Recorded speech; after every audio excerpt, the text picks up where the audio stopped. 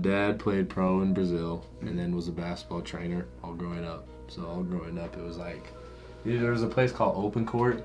It was down near like Point of the Mountain, Traverse Mountain. Like area. where XSI was. Yeah, that's what it was. okay, It was- yeah. It used to be XSI, but uh, he'd do training lessons there. So growing up, I'd always go to all the training lessons. All our birthday parties was there.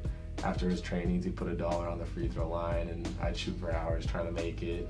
So it was just like always being in the gym growing Yeah. up. Like that was just what it was. And then he coached a women's travel team and women's high school team. So all growing up, it was just gyms. Every vacation we went to, we'd go to California. It's because his club team had a tournament in California. So life's really always revolved around basketball. Yeah. Mm.